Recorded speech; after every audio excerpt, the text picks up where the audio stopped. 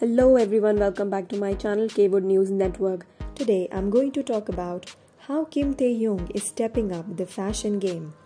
There's no doubt that BTS singer V is among the most stylish singers in the world.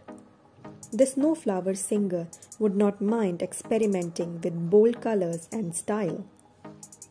Taehyung shared a mirror selfie where he has been wearing a bright yellow suit.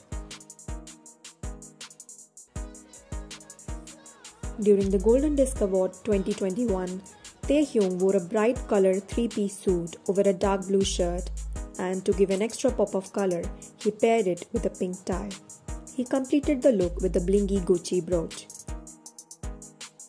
Indeed, Taehyung is perfect for the world's most handsome man title.